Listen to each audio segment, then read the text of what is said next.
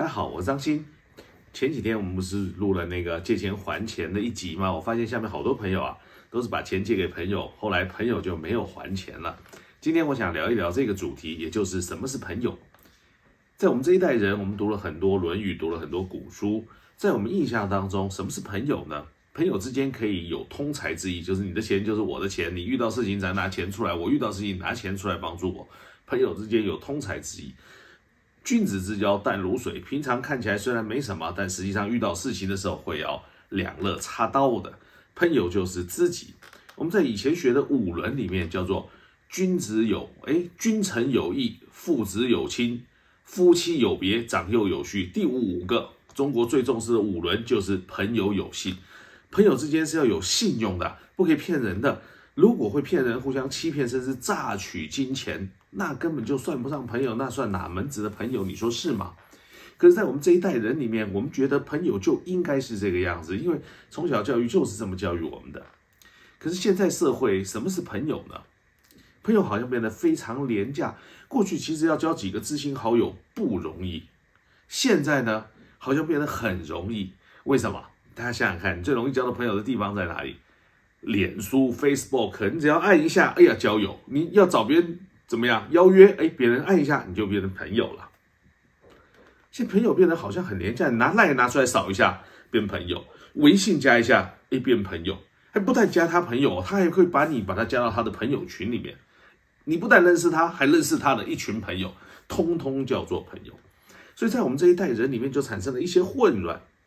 我们学到的教育是，朋友之间就是有通财之意，要两肋插刀，要互相帮忙，中间要有信用。可是我们把别人当朋友，别人到底有没有把我们当朋友呢？最容易交到朋友的，大概是在人生的几个阶段。第一个是在求学阶段，同学之间真的是会有纯纯的友谊的，因为同学之间没什么利害关系，小时候建立起来的友谊，那是可以保持很长久的。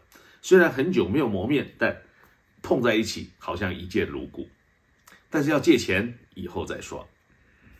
通常啊，你没有什么常常联络的朋友或者是同学会打电话来，不外乎几件事。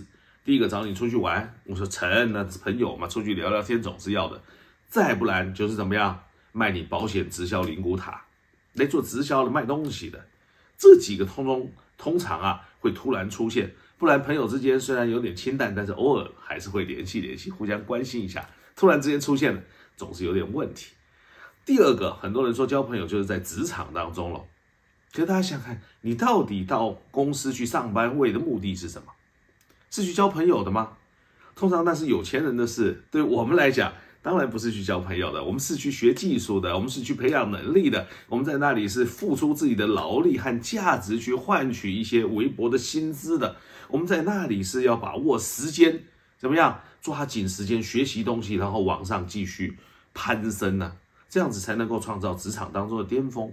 你在职场当中真的能够有几个好朋友吗？说实话不容易。我们常常劝一些年轻朋友，在同事之间有些话能说，有些话不能说。凡事要小心，不要乱说，不要把所有的人都当做自己的朋友。有一天你会后悔的，你会发现你讲出去的秘密，全世界都知道，只有你自己不知道，别人知道了没有？你可以再想一想，平常称兄道弟的那一些同事，一旦不但不管是你离职还是他离职之后，到底联络的还会有几个人？很少很少吧。我们绝对不能否定，职场当中是可以交到一些莫逆之交或知己的，但那个比例很低。我今天为什么要讲这个东西呢？我要陈述的一个事实就是，我们过去认为的朋友，或者是朋友之间应该信守的那些原则，和现在对朋友的定义是不一样的。因为现在的朋友变得很廉价，反正有事没事都是朋友嘛。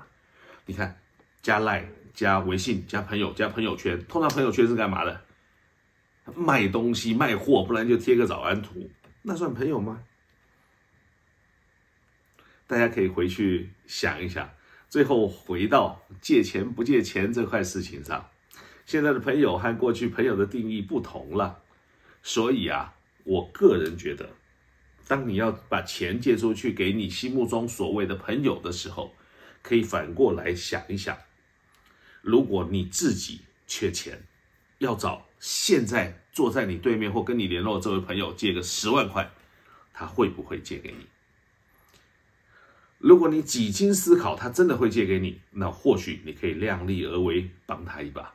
如果你有那么一点点迟疑，他可能不会借你，或者是面有难色，那好朋友，我劝劝你，就别把钱拿出去借人了。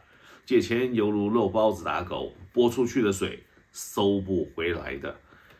借钱给别人，就好像人财两失；不借给他，顶多损失朋友，哎，钱还留着。你到底要损失朋友，还是人财两失？那就是自己的抉择喽。好嘞，张鑫漫谈，今天礼拜五又跟大家聊聊朋友的过去、现在，还有朋友之间到底还有没有通财之意？张新漫谈，天天都有新鲜事，咱们明天见，拜拜。